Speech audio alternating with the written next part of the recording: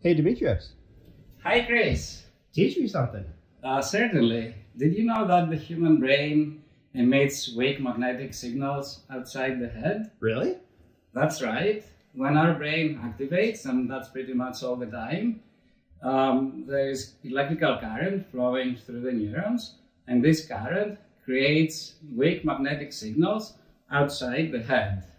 However, these signals are extraordinarily tiny. They are in fact a billion times weaker than the magnetic field of Earth, so it's very challenging to measure. This is why my lab has a dedicated device, magnetoencephalography.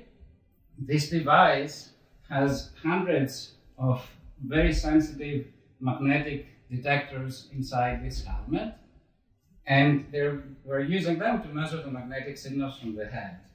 We conduct human experiments, measure these signals, use them to reconstruct the underlying brain activity, and study how the human brain works.